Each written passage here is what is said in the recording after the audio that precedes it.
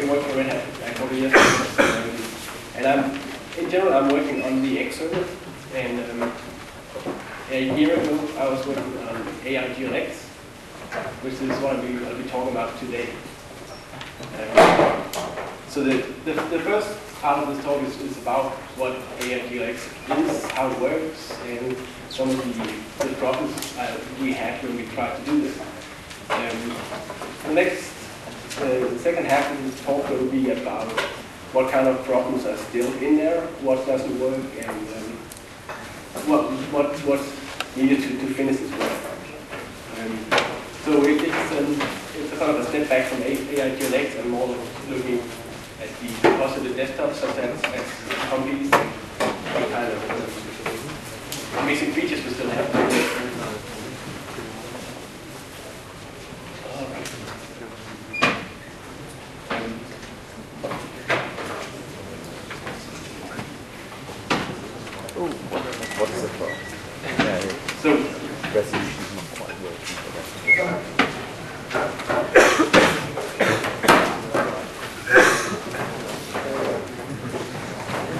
for a long time.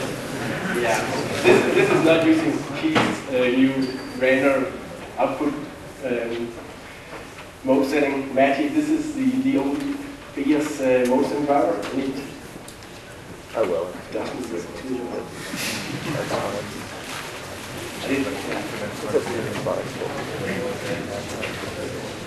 I don't know if you see it. Yeah.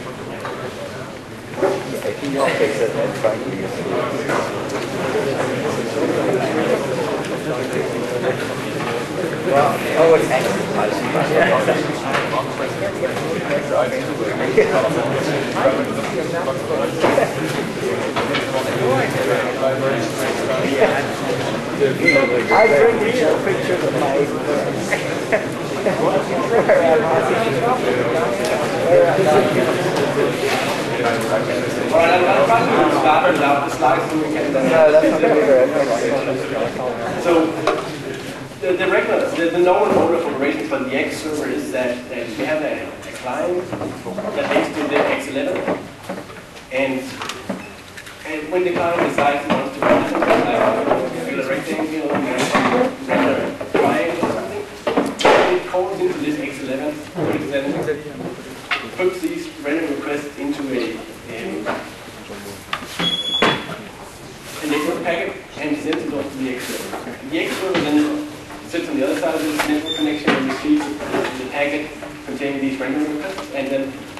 takes out the regular place and, and performs an, an essay command. So it's the rectangle and draws a triangle and they're trying to.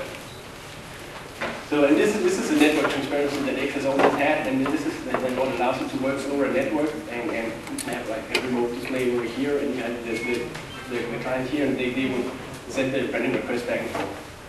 Um, so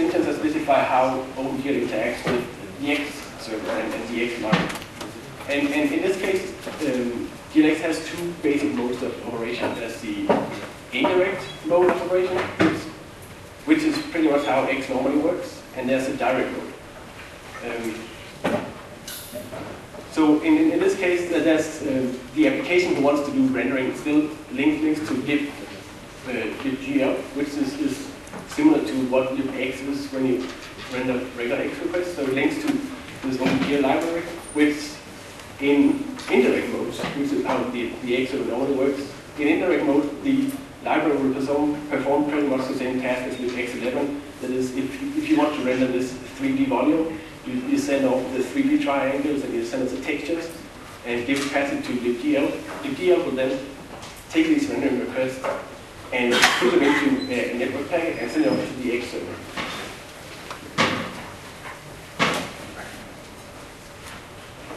Um, and again, the X server is on the other side, so network request uh, connection receives the rendering request and passes um, and, and, and renders these commands.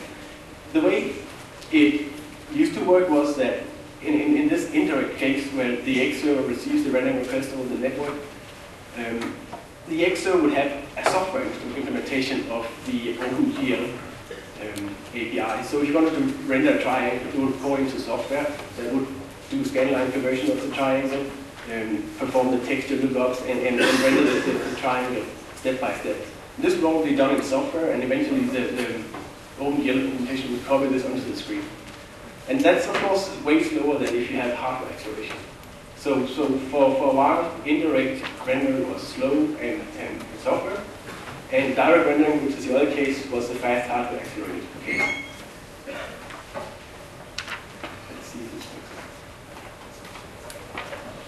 So I, I'm, I'm recovering from my cold, so if I'm too incoherent because of yeah, being stuffed up, just let me know and I'll talk slower or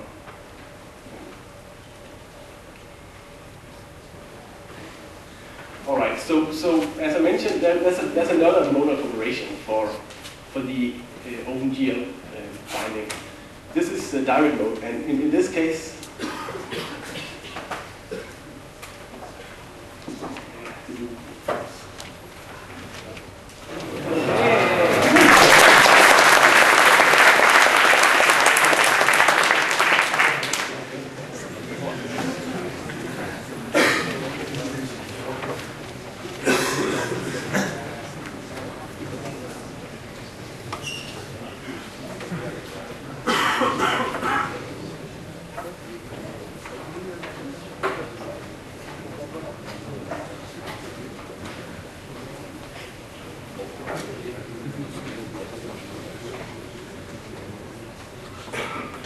that's a title slide. And so this is the overall picture. We have the app application of the linking to the GL.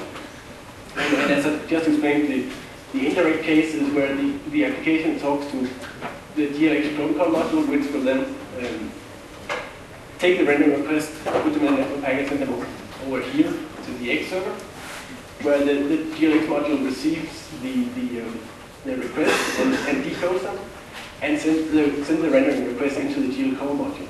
And this, this is the software rasterization I was talking about that takes the, the triangles, do the scanline conversion, and eventually copies the, the contours to the screen. The other, the other case is, is a direct case. And this is, this is where we, was start to, to deviate from how the XServer normally works. In this case, uh, what we end up with is uh, the driver actually being linked into the client. So we have the application up here, linking to the GL. But then, as we try to, as we start rendering, the, um, there's a loader part that, that, that in the GL that, that starts out by talking to the X server. And it, it asks the X server if the X server can do direct rendering because that's usually the preferred mode of operation. And if the X server says, yes, I can do that, it will also pass back the name of the driver to load and the address of the frame buffer. So, so at this point, the, the, the client actually uh, knows where in memory the frame buffer is, knows uh, which driver to load, and then proceeds to, to, to load the, the dynamic. Uh, the, the, driver is just a shared object, which then GL opens and, and initializes with the address of the frame buffer, among other things.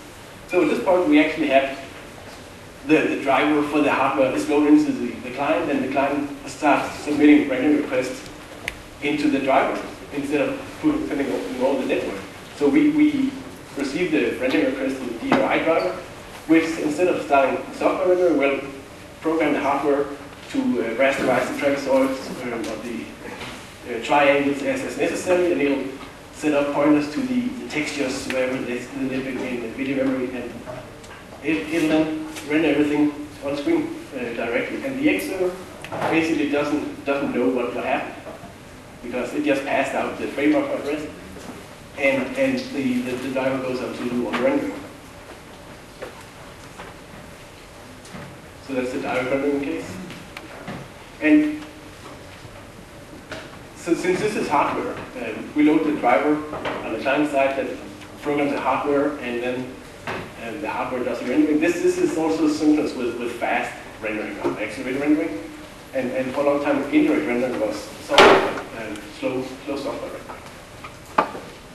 Um, the extra, I said the extra doesn't know what happened, but it is, it is, it is part of the game some, somewhat because you still need to respect the, the overlapping windows you have in X. So if you have an X window, you, are running GLX skills or playing Tux Racer, and you drag another window on top of your, your Tux Racer window, the, the, the, rendering has to respect that window. Um, so you can't just render across your external, whatever it is you're, you're, you're having on top of your Tux Racer window. So whenever, whenever the windows move or the, the clip regs change, there's, there's synchronization going on between the, the, the direct rendering client and the external. So, so the external says, oops, you have to reread the clip list, and whenever the, the direct rendering client is ready to do, do some rendering, it goes and rereads the clip list so that it doesn't override the, the, the external or other window.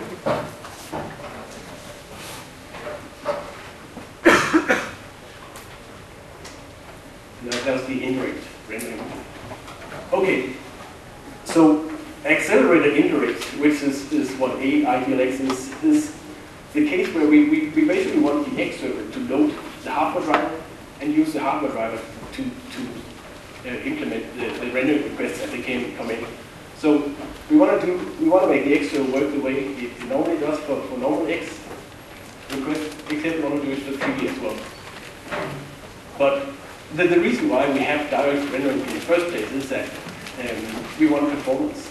Um, with, the, with the X server, with, with normal rendering, we don't really need that much performance and um, I mean, the, the, the, the, overhead for, we need performance of course, but the overhead for, for doing the marshalling and, and, and, network access is, is negligible compared to the actual rendering, especially if you have to fall back to software. So when, when you see your server being slow, if your scrolling is slow, if uh, PDF document runs slowly, it's typically because we have to fall back to software and do some operations in software. It's not because we spend too much time sending network packets back and forth. It's always software fallback um, um, something in, in that, that. But, but for, for, for OpenGL, we never do software fallback. It's always, mostly always hardware. And, and since we're running Quake and we want the, the biggest possible frame rate per second, the, everything everything matters. So so if we, if we can avoid the network access here, we might get one or two extra frames per second in Quake, and then that's one of the reasons uh, we DI directly in the first place. So so it is mostly performance. So the, the, question is, we, we have direct rendering, which is faster than, than indirect and, it does the same. Why would we want to accelerate indirect? And and there's a few reasons. I mean, I, am listening to Lex X texture control um, which is which is probably the primary that did this work. Um, so for for Compiz, the, the compositing manager, Compiz is an OpenGL application that renders the entire screen, the entire desktop using OpenGL.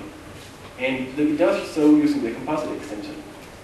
What the composite extension allows you to do is you take the contents of a window, and normally when clients, the applications render to an, NX window, it's rendered directly into the, the frame buffer. You, you, you, see the contents appear on screen as, as the application is rendered.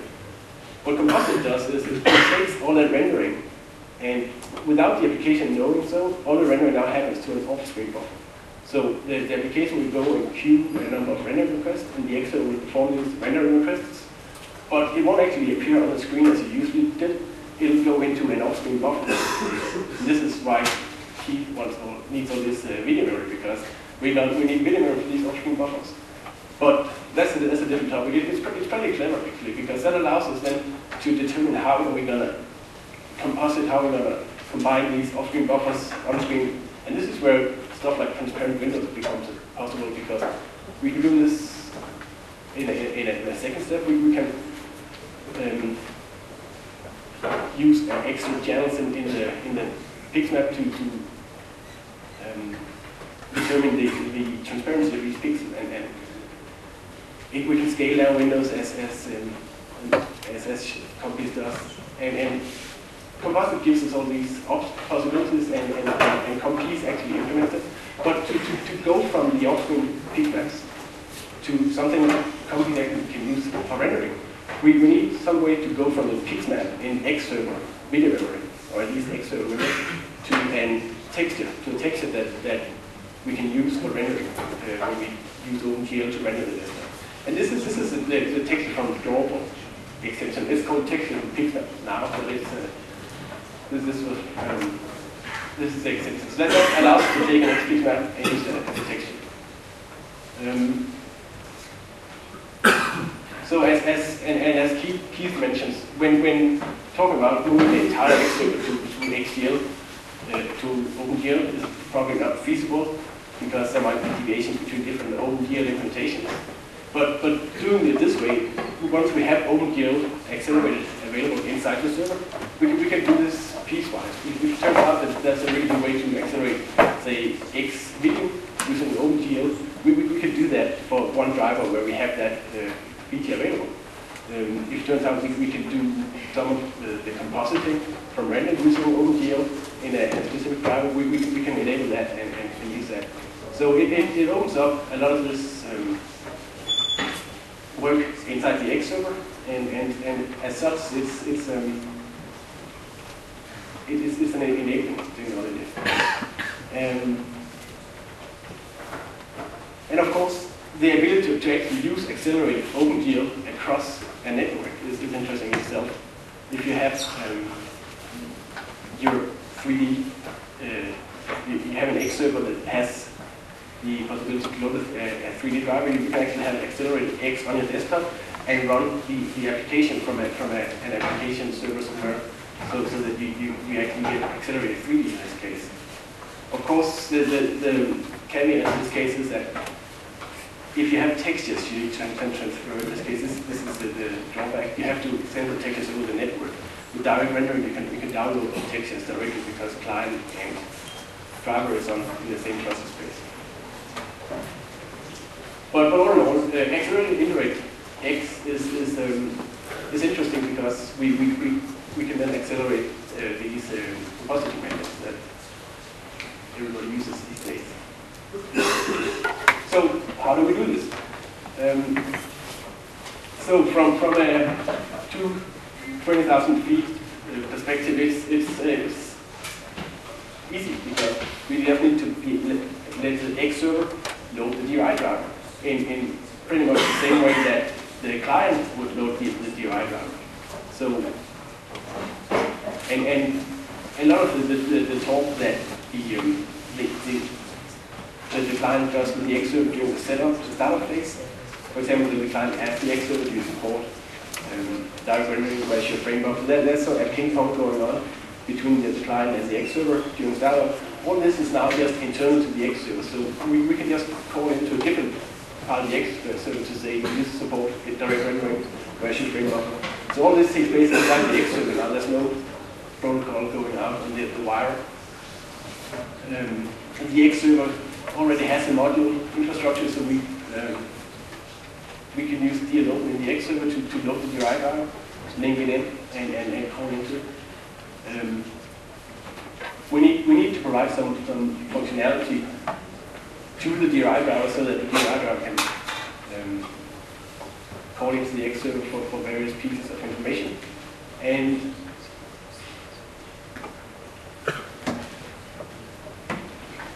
in, in, in general, it, it, is, it isn't that big a task. It's just um, a matter of de-loading the driver and then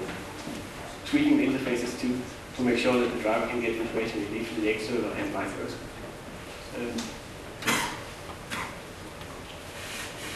Um, yeah, I'm going to skip this slide. This is about how we initialize visuals. It's kind of messy, but it was messy before and it's still messy.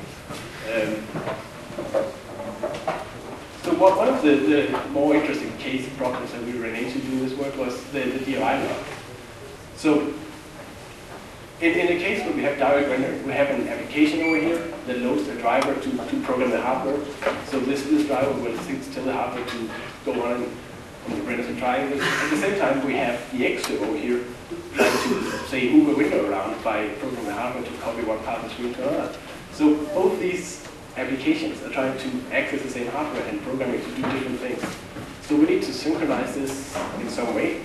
And, and, and the, the way to do this typically is to put a big old lock around the whole thing. So that's the DRI lock. The way it works is that the, the DRI driver knows that it has to synchronize access to the hardware. It knows that there might be different DRI drivers running. You can have two copies of DX here, so you can have Quake over here and, and, and Tux Racer here, and you, you, can have several clients running at the same time, and you need, you need to respect that. So the DRI driver that we load, that we load in the client to, to, to do the rendering already knows this, knows about the It takes it whenever it's about to, to, submit commands to rendering, and releases it once it's done. On the other hand, the server doesn't know about the lock. It thinks that one without the server, and the server assumes that it just owns the hardware. But um, so most of the drivers are, are written to, to just render and expect whatever they submit to the card is still valid next time they come around and try to render. But that's not the case in this because we might, from, from one, you submit a uh, rendering request in the X server, maybe the EX server gets swapped out and the direct rendering time runs and also few frames of QX here. And then the X server swapped in again. And now the state is completely different from when the last time it touched the hardware.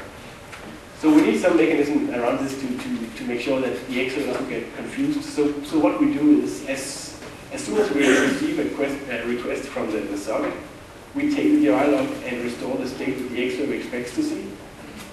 And then we go off and, and render the request as usual. And then when, when we flush the pipe and we rendered all the requests that was sitting in our buffer, and just before we go back to sleep and wait for the next request, we release the log so that if the DRI driver will be able to acquire the log and do the rendering So, so that's a, that's a, a ping pong between the X server and the, the client, the direct rendering client that, that, that is well tuned and, and it's, it's not the most efficient way to do things, but it works. And um, so they, they, they ping pong and back and forth.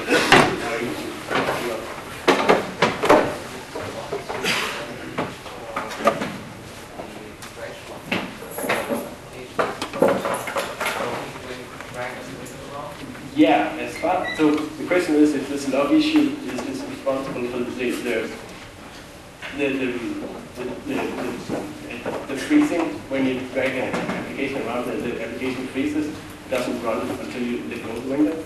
And, and as far as I know, this this this is part of the problem. Um, because as, as you grab the window to drag it around, the X server is just saturated with requests to move the window around. It doesn't release the log while you move, it, move the window around.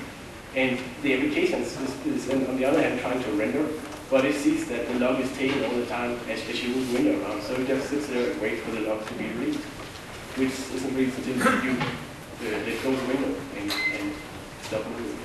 So this is this, it's not the most efficient way because you get you get interactions like this where you stop rendering, but it, it basically works. And the, the better way to, to do this would be if, if the X actually knew about and it could, could only take it for that short amount of time we actually need to do, to do rendering.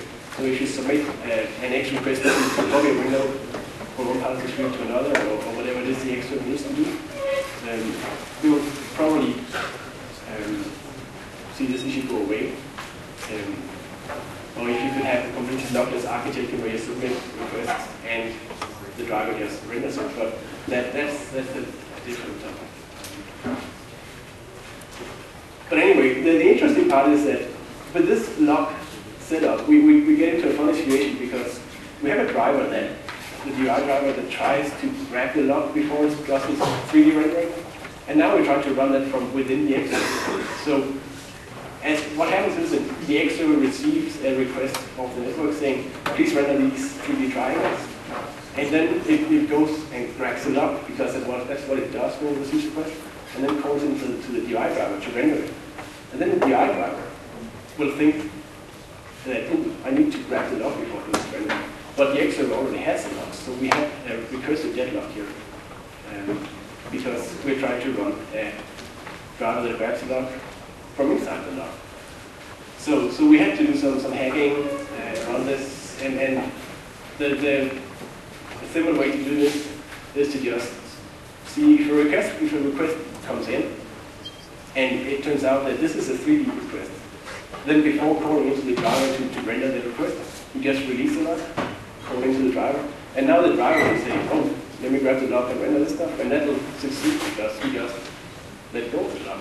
So the driver will be able to render whatever it renders, and then it will release the lock and return to the server. And the server will then immediately retake the lock in case we were about to do some 2D rendering. So the server takes the lock, and eventually the X uh, releases its lock and goes back to sleep. So this, this actually works fairly well. I mean, the, the whole taking and releasing of locks is not cheap because it's not just taking the lock, it's also about restoring the state of the graphics card to, to be what the X server or the 3D drive expects. But in, in, in the end, there's not much of a performance penalty to be here, but there definitely um, it could be more efficient.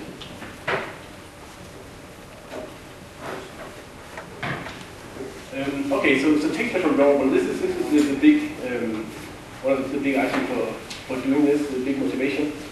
And, and um, the thing is now that we have this 3D driver running from within the server memory um, address space, we, we, we can say, all right, we've got the pixmap here, because the pixmap is, is, a, is an X server object, it lives in the X server address space, and now we have the, uh, the 3D driver in the X server address space too. So we can say to the driver, all right, we got this pixmap over here, this is your texture.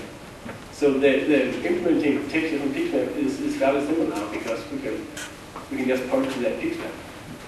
And there's a number of ways to do this. The, the best way would be if we have that pixmap sitting in, in video memory on the card. Um, so, and, and, typically that's what the X will do. We'll keep the, the video memory defined in a pixmap in an off-screen buffer on the, in the video memory. And as you render your glyphs and do the rectangles, whatever you do to the window, that, that, that drawing uh, accumulate into the off-screen buffer in video. And then when we want a texture, uh, we want to render a polygon, uh, a triangle, and want to use that pixmap as a texture, we can just point the 3D stack to that video area with the pixmap and use that as a texture. So that, that's the ideal case, but it doesn't work that way. Um, I'll, I'll, get into that later. I've got an illustration what, what, what, but for now, what, what we're doing is we, we just ask the server to, to not put these pixmaps into video memory, but keep the pixmaps in, in host memory. So whenever you, you um, do, do your rendering to a window, the, all, all this rendering is, is rendered into host memory, I mean regular uh, memory on your computer. Um, and when we want to use it as, a texture, we the OpenGL stack to this host memory uh, area, and the, the 3D stacks downloads the, the host memory and set up the texture. So we, we have this going back and forth from host memory to video memory all the time. Uh, not back and forth. We go from host memory, that into video memory on, on every um, every every object. So that, that's what we're doing now. It's not it's one of the biggest performance bottlenecks in, in the uh, composited desktops uh, as, as we've seen uh, today. And it's not something we like to fix.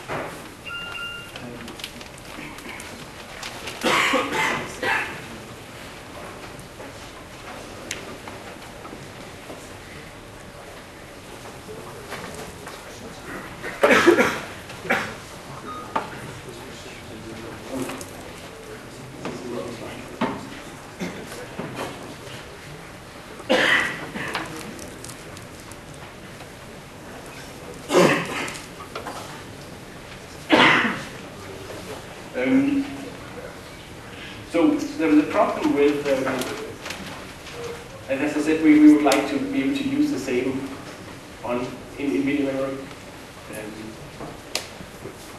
the same piece of video memory that the XO renders into, we'd like to be able to use that for texture without copying things around, but we can't do that right now because um, the way the XO manages memory is, is kind of awkward. Um, so we, we, we have video memory. And what happens at start of this is that we take our memory for the, the frame buffer. So we, we set aside part of this video memory for the on screen, the image that we see on screen. Then what happens is that if we have DRI name, we, we split the rest of that memory into two halves. And the X server manages one half of the video memory, and the 3D stack will manage another part of that video memory. So, so we have two sections of the video memory. We can't really move objects around. The X server doesn't understand the DRI memory. The DRI driver doesn't understand the X memory. So the problem is that if, we run into to, to the PixMap, this PixMap will live, live in the X server half of video memory. And when we want to use it as a texture, we, we really need it to be in the 3D driver part of the video memory. But it's over that other half, so we, we can't do that.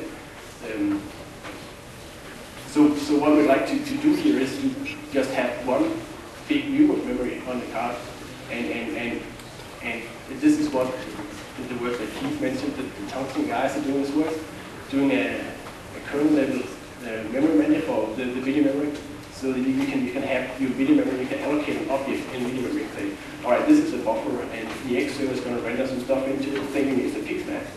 And then later on, you go and as the DRI driver, you use this buffer as, as a texture. And the DRI driver will use that same buffer and the contents in there as a texture. So the, the work they're doing will allow, allow this to work, and we can have zero copy texture from Pixmap, which will then get rid of the slow scrolling and, and, and the, performance like we're seeing in, in, in and, and accelerated composite desktops. Um, the other thing is that we had some um, regressions in, in functionality. So the way that, that, that direct rendering works is that um, and as I said at the beginning of the talk, the the, the, the direct rendering line asks the X server for the address of the frame buffer, and then it loads the driver and renders straight into the frame buffer. But if, if we're running a composite desktop, it shouldn't be doing that. It should be rendering into that pixel we set aside for the, the, the window contents. But the, the direct rendering driver doesn't know about this and just renders into the front buffer as it's always done. And it, it doesn't doesn't work that well. So, so on the surface, it looks like it's working because this is DLX is running in direct rendering mode. But when you try to move the window around, it's, it's obvious that it's not working. Because, so the window stays And then when the window settles down, the, the, the content moves. And the, the thing is that the Compiz doesn't actually update the X server's idea of where the window is until you, you, the window settles down. I mean, as long as it's wobbling like this, you, can't really tell that the X-service is wobbly shape, so it doesn't even try. But the moment you, you let it go and it settles down and says, all right, I got a new position, it says this is where it should be rendering. So it's, it's only when it actually has a, final position, it moves it around. Another thing is that it doesn't respect the clip lists here because um, the, I'm trying to remember what the problem is.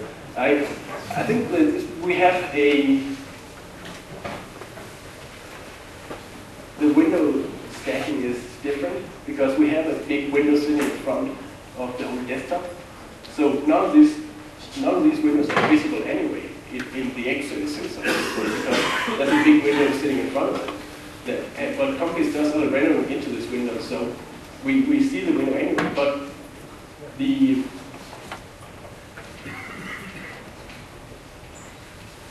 the again the DRI driver doesn't respect this and, and just renders into the framework. So so so so that's something we need to fix. What what's um, what we need to do here is again ties into the memory manager work because um, we we could tell the um, we could tell the the um, the to say when you ask for the frame buffer address, we could in, in theory point it to a different address and say this is where it should be rendering, and then give it, it give it the address of uh, the, the pixmap we, we wanted to render to. But there's a number of problems with that. Um, it just, so with the technique from peak PixMap idea, we the way it's implemented now, we actually need to have this contents in host memory. But if we did did it for, for direct rendering, it would end up in in video memory. And so we, we couldn't easily use that video memory image as a texture. So so that was Another thing is that even though when we look at the, the, the direct rendering window here, we see we see the one frame of, of data here, but there's actually several layers of, of, of data behind an, an OpenGL frame. And like OpenGL can do double buffering, which in which case it will render to the back buffer. And then when you say swap, it will copy that comes from the back buffer into the front buffer. It also has depth buffers that, that, that tracks the depth of each pixel, so that if you render a new pixel in there, and that pixel is, is in front of that pixel that was there already, it'll, it'll cover it, but if the pixel, the new pixel rendering turns out to be behind it, it'll just not update that pixel keep the old value. It's got um, other types of buffers, stencil buffers, and there, there's a number of buffers, and all these buffers are allocated out of a big chunk of memory the same way that we allocate um, front buffers. So, so if we try to render into these buffers, they, they, they still, they, they, they won't, um, they, they'll still clip the rendering according to the old level windows. And what we really want is we want a dedicated buffer for, for say, the depth buffer the double buffer. And that means that the 3D driver needs to know how to allocate a buffer. It doesn't know that right now. It just takes a chunk out of a big screen size buffer and then uses that. um, so, so with the memory manager work, the, the driver would, will be able to go and, and request a dedicated buffer for back buffer, for depth buffer, and it can then set up and can render to an, an off-screen pixel the same way we do it for uh, regular um, as mentioned, uh, we, we have another problem, which is input redirection. And um, so, so if we, in the expose case, this is when, when Keith didn't demo it, but I can, can show. So I, have, I got two, two windows here, and this is my laptop. It's a 1024 by 768 screen, so there's not a lot of space. Copy between two windows. I, I, I have to resize them and put them next to each other. Or I can use the, the, the the feature of, of Compiz, which will, if I throw the mouse pointer up into the corner, it'll scale it down like that. And I, I get a view of all the windows on my desktop. But the X server doesn't know that the windows have resized and moved around like this. The X server still think that the, the three windows are more or less full screen size and all sit on top of each other. So if, if, if I if I could click into this window, the, the X server will actually think that the mouse cursor is, is up here in, in the upper corner of the window, even though it looks like it's almost in, in the middle of the window. And if I want to select this text here, I would be clicking up here instead of so what looks in the middle. So the, the point again is that the X server doesn't know that the windows have been moved around and scaled like this. So it, it still tries to map input into the windows according to where it thinks the windows are. So, so in this case, Compiz is, is clever enough about this because it doesn't try to let me drag an icon. Uh, like, what, what would be useful if actually you could drag, drag this icon into this folder if I wanted to copy files around. So I click here and drag it down here. But, but Compiz doesn't let me do that because it doesn't work. So what it instead does is that I, I can click on the window and select that window should be focused. Like this. And, and that's sort of the limit of what you can do. And what happens is that Compiz is drawing the windows, so Compiz knows that the windows have been scaled down to a cloud. And Compiz can, can um, can highlight the windows as I move over with the mouse. Like this. But I can actually interact with the windows in this thing. So, as Keith mentioned, the, the um, input redirection work that David has been doing actually lets the application instruct the X server how to map input to windows. So if this window here is, is thrown away up in the corner and scaled down, the, the um, compositing inform X on this by um, sending it a, a, set of triangles that describe the relation between the window as it appears on screen and how it actually is in the X server. So with that in place, we, we should be able to finally get composite working well, like how we it should, how it was meant to be.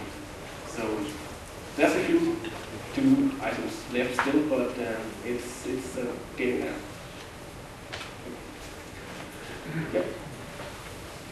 Perfeito.